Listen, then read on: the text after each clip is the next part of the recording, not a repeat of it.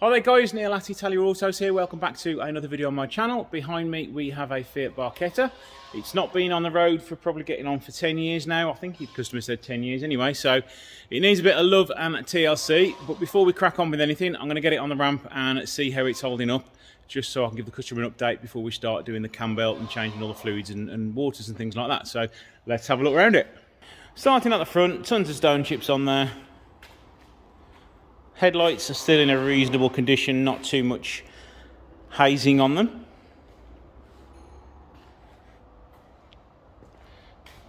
It's got Mark II Punto wheels fitted to it. They are going to be changed. We do have some of the original Steelies over there to put on. It's actually not too bad. There's no rust coming through there. Rear arches are all nice and clean. Rear lights aren't cracked or hazed. Fiat badge is a bit faded at the back. The rear screen is all good. The roof itself looks pretty good. A little bit of stretching down there. The seals aren't the greatest on this side. So that's going to be, he's letting him water in. In fact, I'll show you uh, the driver's side, which is one of the problems we're going to have to fix. As you can see, the hood seems to have shrunk a little bit, so it's pulled itself that way. And the seals are letting water through. Unfortunately, we had to leave it outside the other night when it was delivered to me. And it's a little bit wet on the inside. So, so I do want to get it on the ramp just to see how the rust is underneath. He did say that a couple of years ago it did have some rust repairs to it. So you want to check those out and make sure they're all okay still. Tow bar fitted. I don't know how much you could probably tow with one of those other than a, a little sort of garden waste trailer. Um, passenger side, a little bit of a, is it a little dent there? I can't tell. No, it isn't. Nice colour, actually. I do like it. Makes you want to uh, continue working on my Barchetta. So, right, let's have a look at the interior now. There's not much to show you because it's all uh, all good and it's quite basic on the inside. Um, little dirty and grimy. Seats are very similar to the Mark 1 Punto. This one has got a glove box. Mine doesn't have a glove box. I should assume that was an option back in the day. Clock is faded, but you can still get hold of those. Used anyway. Uh, a little bit of wear on the gear surround. Uh, nice uh, period JVC stereo in there. The vehicle has done 97,000 kilometres. Let's have a listen to the engine now. Let's make sure the immobiliser isn't on. You hear that starter motor catch a little bit then, so it's probably going to want a starter motor refurbishment if we want to go that far with it. Variator, let's listen for that now. Variator reasonably quiet, but I think the customer's put one in anyway, so we'll see if he wants me to change that along with it. So let's move on to the next bit now. So on to under the bonnet. Battery looks relatively new. No rust along the chassis legs. Engine oil itself is nice and clean.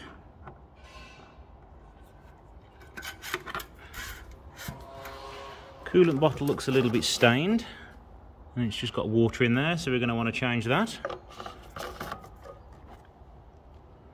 Power steering fluid looks a little dark so we might have to change that as well. Um, brake fluid I imagine that is 100% going to want changing. Uh, yep, sure it is. It's a dirty brown colour. Don't even need to test that. It's so far gone. Everything else looks okay. A little bit of greasy oil deposits there, but that's nothing to worry about. Um, a little bit leaking from the rocker cover cam belt was last changed in 2012 so um, it definitely needs changing. Pipe isn't holed or anything like that. All looks good to me. Let's get it on the ramp and we'll check the underneath and the suspension. Right let's take a look under this front corner. We are rust free under there or relatively anyway. Um, front shock is a little bit corroded in the spring too but there's no signs of uh, it leaking the discs and pads the pads from what I can see have about half the life left but the discs have a really big lip on them Bit of rust coming through underneath there. And I said earlier there was no rust there, but there is, it's starting to come through the seam here. And behind you can't tell because it's got a cover on it. A um, little bit of rust up there. Under the arch, there's a little bit coming through towards the back, but nothing major at all. That can be all caught nice and early. Corroded rear discs. So we've got disc pads on the back. Rear bumper is all there, it's not been damaged or cut. No rust that side luckily. A little bit again coming through on the inner edge but nothing to worry about at the moment.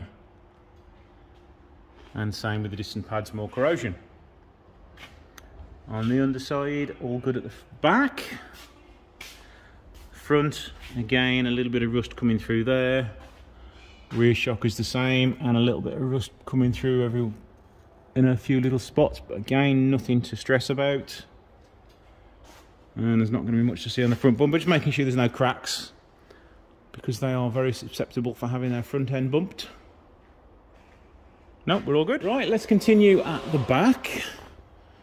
Uh, you can see the back of the pads there, the pads, the discs even, and they are quite rusty and corroded.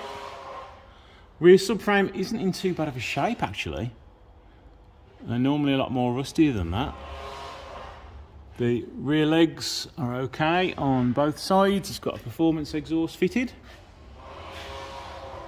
Let's check the chassis out now. As you can see where it's had its a little bit of a repair there. And unfortunately it's rusting again, so that could do with tidying up. And the same on this side. And a little bit of rust coming through there. But the back of the chassis is in really good health. I mean, looking all the nooks and crannies, like with it, because these are chassis are very similar to the Mark 1 Puntos. They are almost a Mark 1 Punto. And uh, all behind here is all good.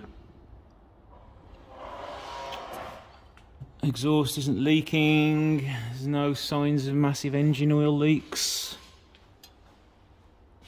Front support bar is rusty, but I think I've got another one to put on anyway. Genuine oil filter fitted, nothing leaking around it. And you can see the pads at the back, again, have a nice amount of corrosion and lip to them, so they are going to want changing. The wishbones, without testing them, they look as though they're okay. Anti-roll bar bushes look okay. We've got some sort of an oil leak around the back here. Let's have a sniff of that. Doesn't smell like gearbox oil. So we need to have a look at that and see where that's coming from. So guys, what do you think of it? I don't think it's in that bad of a shape. It doesn't need any welding underneath. It could just do with those two little bits tarting up again to make sure it doesn't rust anymore. Um, cam belt, fluids, MOT, and I'd say it's pretty much ready to go. So, uh... so here we are, a few months after filming the first part of the episode. Here it is, all finished. It's had a little bit of paint work done to it. It's got the original wheels fitted to it, which have been fully blasted and repainted. The rust has been removed down the bottom there, and that is all uh, tickety-boo now. Just giving it a quick wash to get rid of some dust on it, because it has been sitting for a while. So another car has been saved and put back on the road. Thank you guys for watching. A lot of my traffic on the channel now is new traffic, so please hit that subscribe button if you are new here. Thanks for watching, and I shall see you in the next episode.